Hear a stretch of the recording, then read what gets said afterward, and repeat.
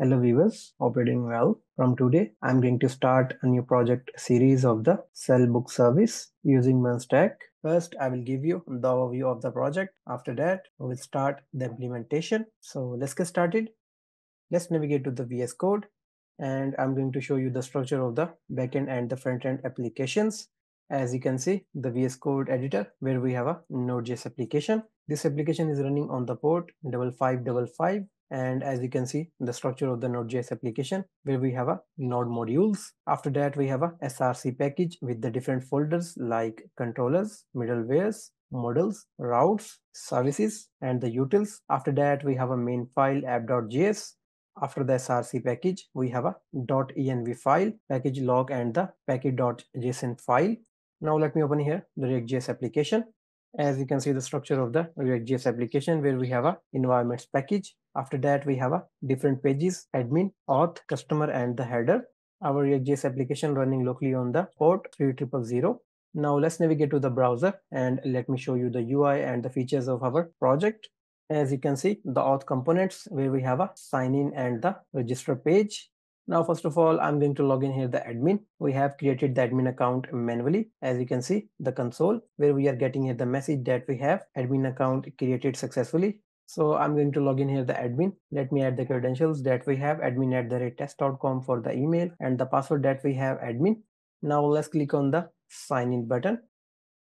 As you can see, it's navigating us to the admin dashboard page where the admin can see all the posted books on the top, we have a drop down to filter the book. As you can see, the cards of the books where the admin can see the details of the book along with the information. We have a update and the delete button to update and delete the book by the admin. Let's navigate to the post book page. As you can see, the post book form where we have a different inputs like the image URL, title, author name, description, price, the drop downs and the edition. Now I'm going to fill the details to post the book by the admin let me add here the image URL. After that, I'm going to add here the title. After the title, I'm going to add here the author. After the author, I'm going to add here the description. After the description, let me add here the price of the book. Let me select the type that we have, biography. After that, I'm going to select here the condition like new and the edition that we have, special edition. Now let's click on the post book button as you can see the notification we got book posted successfully and after that it's navigating us to admin dashboard page. Let me scroll down. As you can see the newly posted book. Now i'm going to filter the book by type. Let me select here the type like science fiction. As you can see we are getting here the search results. Let me select another type like biography. As you can see we are getting here the results. I'm going to click on the update button of this book as you can see, it's navigating us to the update book page. In the URL, we are getting here the ID of the book. Now, as you can see, the form of the update book. Now I'm going to update the book with the updated price like 12 and I'm going to update the condition as well from like new to new and the addition that we have second. Now let's click on the update book button. As you can see, the notification we got book updated successfully and the book got updated as well the price that we have 12 the condition and the addition as you can see. Now after that i'm going to click on the delete button to delete the book.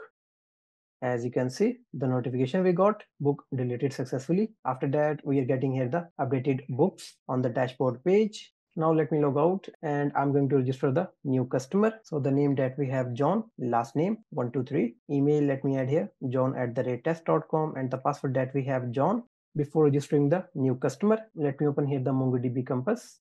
As you can see the scheme of our application where we have a different models like books, cart items, orders, and the users. As you can see the user model for now we have only one document that for the admin. Now let me open here the books model. As you can see we have the list of books. After that we have a cart items model. At the last we have a orders model. For now it's empty as well. Let's go back to the browser and I'm going to click on the sign up button as you can see, the notification we got, sign up successful. Let me log in here the customer. As you can see, it's navigating us to the customer dashboard page. On this page, the customer can view the list of the books. The customer can filter the books by type as well. Along with the information of the book, we have a button with the caption add to cart. So I'm going to click on the add to cart button to add this book to the cart. As you can see, the notification we got, book added to cart successfully. Now let's go to the cart page. As you can see the book that we have in my cart. After the book, we have a total amount of the order. At the last, we have a place order button where the customer can place the order by entering the address and the description. Now let's go back to the dashboard page and I'm going to add the same book to the cart again. As you can see, the notification we got, book already exists in cart. Let me add another book into my cart. Let's go to the cart page and I'm going to place the order with the address like 123 Street, New Delhi. The description let me add here, please deliver as soon as possible. Let's click on the place order button. As you can see, the notification we got, order placed successfully and it's navigating us to the customer dashboard page. As you can see, the nav link with the caption orders on this page, the customer can view the placed orders where we have a tracking ID, name, amount, description, and the placed at date. Now let me log out and I'm going to log in here the admin. As you can see the nav link for the logged in admin where the admin can view the placed order as well. So that's all for now from my side. I hope you will learn a lot from this series. From the next part, we will start the implementation of the project. If you have any confusion, you can do comment. Thanks for watching. Take care. Bye.